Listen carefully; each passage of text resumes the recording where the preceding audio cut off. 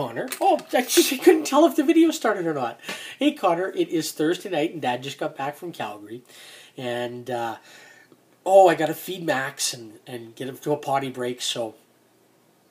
Oh, I got the hiccups. I got too much coffee in the drive. I got to leave a really quick message tonight, and you probably won't get it uh, till tomorrow or the weekend anyway, simply because it's left so late tonight.